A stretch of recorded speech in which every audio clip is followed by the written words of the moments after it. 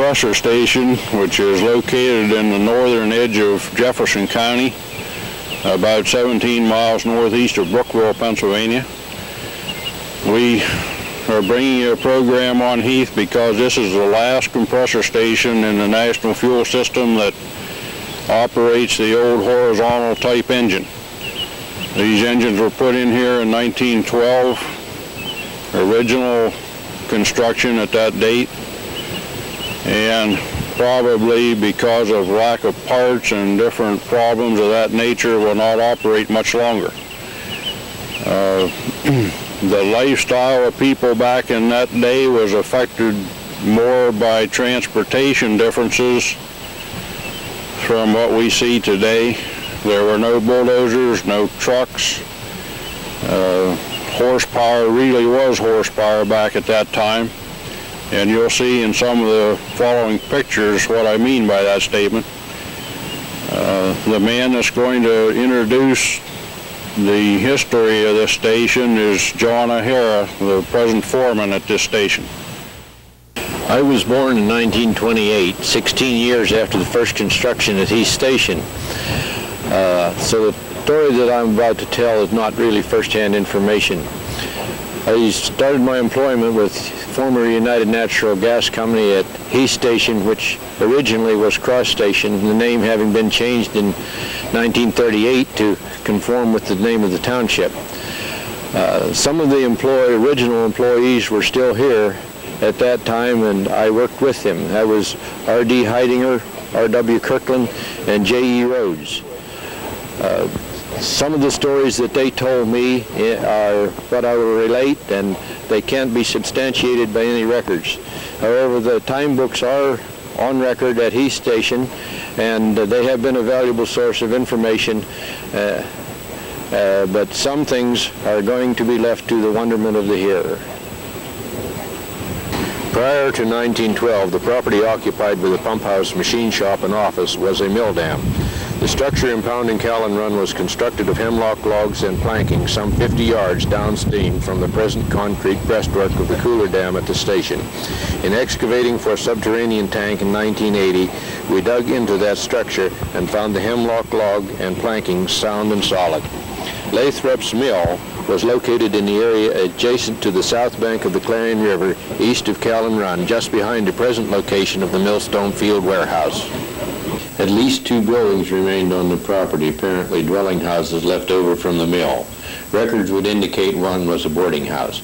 Mr. W.T. Young was apparently the foreman, although no timesheets for him are to be found in station records, and he later appears to have had some office in Oil City. In September of 1913, Mr. William Groves apparently moved to the cross station from Crawford Station and assumed duties as foreman.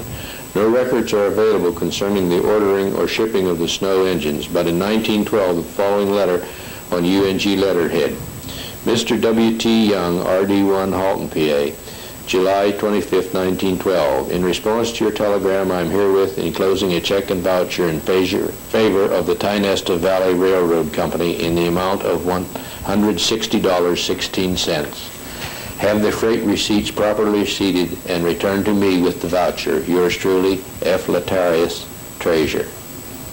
Actual work on Cross Station began on June the 19th, 1912 with surveying by Donald Spence. Normal work week was six 10-hour days. Wages appear to have been between been 20 to 22 cents per hour. June 22, 1912, R.V. Himes and W.H. Hoover started clearing the building site. June 23rd, Sunday, no work. Monday, June 24th, more men started to work clearing the site. These were A.M. O'Hara, Conrad Disque, T.D. Parrott, E.M. Corbett, S.C. Ewings, W.P. Painter, R.M. Harriger, S.M. Silvas, R.J. Rhodes, Dave Rhodes, James Silvas, Don Spence started building the office. R.E. Kerr was a water boy at $1.25 per day. In one of the time books dated June 28th, James Silvas fell off the office roof at 11.30 a.m., complained of pain in small of back, two scratches on left arm. During July of 1912, approximately 40 men worked in the construction of Cross Station, clearing land, excavating for foundations, coolers, water lines, and so forth. Dwelling house number one was repaired and construction of the machine shop started. A stone crusher was hauled in from Winlac and installed in the area between the office and the building, office building and the road. Stone was quarried about a quarter mile up the valley and hauled to the crusher by horse. July 29, 1912 appears to be the date when they started hauling the first of the two original snow engines to Cross Station from the railroad siding in Halton. Engine parts and boxes and crates of fitting were hauled on regular freight wagons by one or two teams.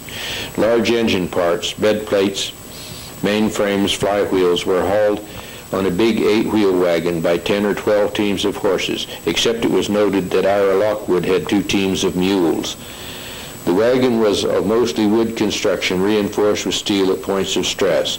The wagon bed stood about waist high and the wheels about 30 inches high and 8 inches wide, wood wheels with steel hubs and tires.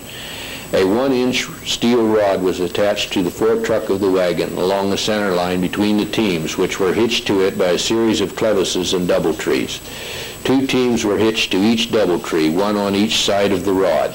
Another wagon called the junk wagon traveled with the big wagon. The junk consisted of chains, jacks, lines, sheaves, blocks, ties, and all the other necessary gear to help the big wagon along the way. Freight from Halton, including the big wagon, was hauled down the north side of the Clarion River to a point approximately where F-133 presently crosses the river, where a ford had been previously prepared to cross the river. A note on the time book, September 11, 1912, John Brightman landed at the station with the first main frame. This is the approximate location of the river crossing today. First time charged to erecting engines was in October of 1912. The name E.H. Marshall appears on the time book uh, on October the 15th. His time was all charged to erecting pumps. It appears that he might have been a, a more experienced man sent in to uh, set up the engines as he was paid somewhat higher than the laborers at 25 cents per hour.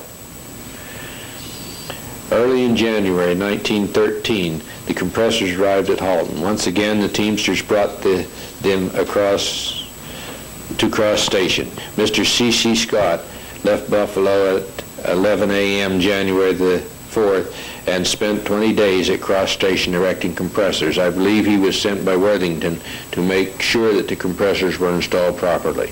First indication of a snow engine running was a note on the time book, January 6th and 7th, R.V. Van Tassel uh, station test, the same notation for A.M. O'Hara on the same day. Beginning in January 1913, uh, time was charged to operating. 12 hours per day, seven days a week. Mr. F.G. Jackson was chief engineer, also charged 12 hours a day for operating, but he took Sundays off.